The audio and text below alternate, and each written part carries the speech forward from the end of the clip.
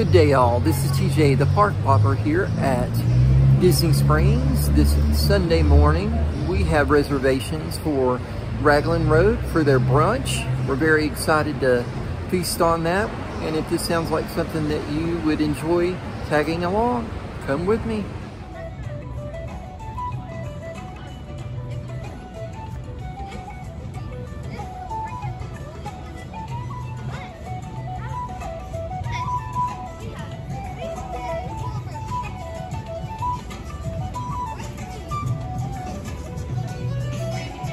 Right, guys, we just got to our table. Overall, I have to say this is a beautiful restaurant. I'm very excited to eat, and um, I'm sure my family's excited to eat as well. So we're gonna go ahead and place our orders. Just came, and we have a Guinness glaze and some soda bread. I'm very excited to tear into this. Guinness is my favorite beverage. Had an opportunity to enjoy the bread service. I have to say it is excellent.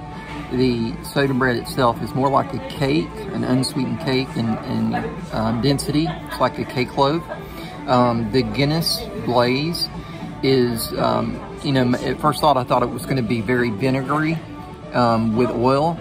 Not at all. It's like simple syrup with a reduced kind of Guinness flavored pan, uh, pancake syrup under that. So um, very, very good. I would say that young kids may not like this, but um, teens to adults, I think it'll, it'll definitely be um, palatable for them and, and, and most will like it. It's not very Guinness heavy. It's kind of the malty um, flavors of Guinness, the, the, the, brown sugar.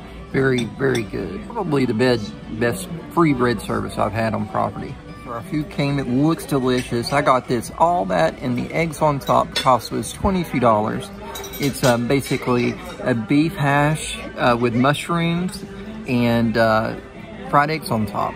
Looks great. Um, as you can see, we got the children's pancakes. Look very good for children's pancakes. Portion size is very comparable to a, a, a full um, adult meal here for children. Uh, we also got children's um, eggs and bacon. Um, two orders of that looks excellent as well. So we're going to dig in and I'll let you know what we think. All right, guys, so we've just enjoyed our meal. I have to say that all this and the eggs on top is really good, very rich um, for a hash. Excellent, definitely needs the eggs to help cut through and blend the, the, the flavors. Um, the umami factor of that dish is just way up there, really, really good.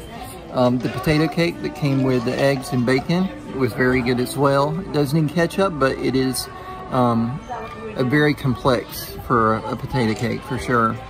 Um, the pancakes with the creme fraiche might be a little bit different from for some of you, uh, your your kids, but uh, it's it's very good as well. It's more like a, a thickened butter, so um, everything was great.